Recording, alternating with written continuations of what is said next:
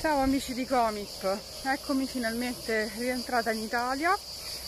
nella foresta italiana, con almeno una ventina di gradi in più, per farvi un resoconto della trasferta a sostegno del film La Forêt de Mon Père, Into Dead's Woods. Avrei voluto fare un post, arricchirlo di foto, video, reportage, ma le energie dopo le trasferte sono quelle che sono e quindi andiamo direttamente al succo della questione facendovi questo piccolo video aggiornamento che così eh, posso trasmettervi tutto quel immenso patrimonio di emozioni, incontri e conoscenze che in questa brevissima trasferta ho, ho riportato indietro. Iniziamo subito col dire che una proiezione in foresta è già di per sé un'occasione speciale, ma essere dentro la foresta in cui il film è stato girato aggiunge all'evento un tocco di magia. Era un sogno grandissimo della regista Vero Krasborn di realizzare un'anteprima proprio lì. Ha realizzato questo sogno grazie a un team incredibile di tecnici della Cine League, che è una realtà che porta il cinema eh, al pubblico e che hanno fatto un lavoro straordinario per montare uno schermo gonfiabile e allestire tutto perché fosse eh, una proiezione di qualità sonora e visiva. Eravamo tutti ovviamente distanziati con uh, le nostre sedute all'aria aperta e ho incontrato due psicologhe rappresentanti dell'associazione Le Funambule di Parigi che sono venute apposta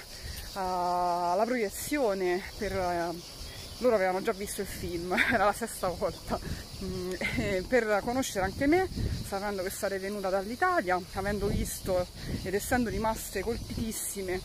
eh, dal video del TEDx Talk di Napoli, se non l'avete ancora visto andate su YouTube, quando mamma o papà hanno qualcosa che non va e capirete anche il perché questo legame con la foresta, di cui la stessa regista è rimasta colpitissima perché? Perché anche per lei la foresta ha un ruolo simbolico, eh, anche nella storia del suo film. Andiamo però a, a conoscere meglio eh, il film e scoprire qual è la trama. Come saprete la trama è un po' quello che, che è la nostra storia. Eh, c'è una famiglia, ci sono tre figli, la, il punto di vista principale è quello di Gina, una adolescente di 15 anni, che inizia diciamo, a dover fare i conti con un papà che inizia a traballare tra, tra realtà e follia perché a un certo punto lo vediamo piano piano precipitare dentro una crisi psicotica. E,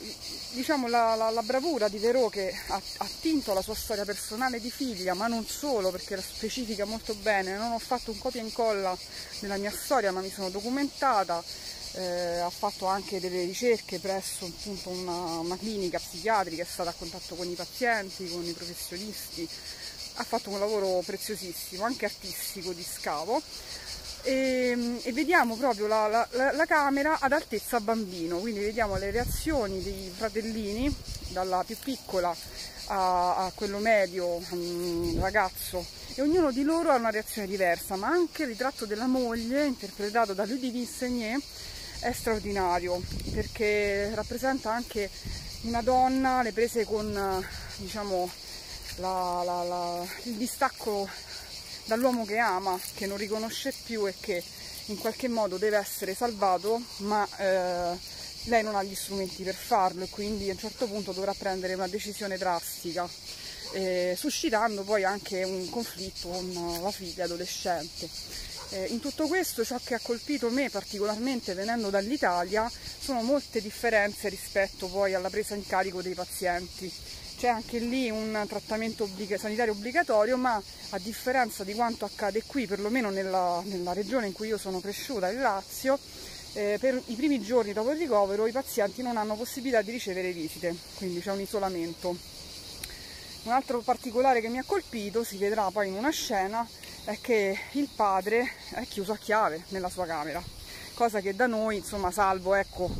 situazioni non, non lecite, da noi non accade. Quindi ci sono una serie di aspetti che ci distinguono, ci differenziano dalla Francia. Quello che però è comune è l'assenza totale di prevenzione e informazione su questo tipo di malattie, eh, il fatto del, dell'isolamento in cui viene poi a trovarsi la famiglia e eh, il fatto che i bambini sono, sono là, sono presenti ma rimangono di fatto invisibili perché non viene loro fornita alcuna spiegazione su quanto accade al loro papà. E addirittura gli viene negato il contatto fisico, la, la, poterlo vedere per i primi giorni del ricovero. E, e in tutto questo c'è anche una moglie, una mamma che deve provvedere economicamente alla famiglia e avere a che fare con il lutto per la perdita temporanea comunque dell'uomo che, che ama e che ha sposato e gestire poi tutta la questione dei propri bambini. Eh, il film è stato fatto con una poesia, una delicatezza, eh, una ricerca del dettaglio artistico e, e, e corporeo. Infatti anche l'attore principale, Alban Lenoir, è stato preparato a interpretare un personaggio che appunto inciampa nel mondo della sofferenza psichica e, ed ha un episodio psicotico attraverso una, una donna che si occupa appunto di coreografare e di dare agli attori strumenti per mettere in movimento il corpo a servizio della storia, del, del racconto. La ricerca poi dell'uso della foresta, ehm, anche per un collegamento metaforico, no? il perdersi nel bosco come metafora del perdersi in una sofferenza di cui non si conoscono i limiti e, e la misura. E vederlo appunto nel, nel bosco sotto le stelle ha amplificato tutta questa dimensione emozionale. È un film che sicuramente sta facendo nascere un dibattito in Francia sui Forgotten Children, cioè sui figli dimenticati, e di cui però si fa portavoce per il suo paese. Come Comip abbiamo voluto andare a sostenere questa anteprima, primo perché il film non è ancora disponibile in Italia, non sappiamo neanche se lo sarà e quindi noi vogliamo farci lettori perché un film come questo arrivi da noi, perché possa essere diciamo, strumento di eh, costruzione del cambiamento che sia io che Verò che tanti altri agenti attivi di cambiamento in tutto il mondo desideriamo e perché? Perché abbiamo bisogno di energie, quando il panorama si fa asfittico, quando non si vedono eh, buone nuove all'orizzonte, c'è bisogno di eh, raccogliere le forze e andare diciamo, a, a raccolta di chi sono i nostri. Arrivano i nostri, diceva qualcuno, e quindi noi siamo andati dai nostri eh, fuori Italia a raccogliere energie e riportarle indietro. Questo è un po' quello che mette in moto quando tutto è statico e quindi eh, abbiamo potuto fare questo collegamento che non sarà l'ultimo eh, abbiamo portato la nostra bandiera Comip eh, perché? perché il simbolo di quella bandiera è personalmente sono partita da sola in questo cammino personale ma anche di lotta collettiva la bandiera è tenuta in mano da tante persone in tutto il mondo è dalla solitudine alla costruzione di una rete per il cambiamento. Il non siamo soli fatto immagine, concretizzato, nella speranza che sia di stimolo a quello che vogliamo costruire, quindi non più famiglie sole, figli soli, persone sole con la propria sofferenza, ma un sistema, un sistema che sempre di più eh, sia centrato sulla prevenzione e sull'abbattimento della paura che riguarda i temi della salute mentale, perché eh, dobbiamo essere tutti coinvolti, esattamente come facciamo per il pianeta. Eh, non, non, possiamo pensare di, di, occuparci di qualcosa solo quando già il problema è esploso, dobbiamo arrivare prima ed è possibile farlo ascoltando le storie, le storie universali. Ecco quello che ha voluto fare Vero Krasborn con il suo film, prendere spunto dalla propria storia e renderla un racconto, una narrazione universale,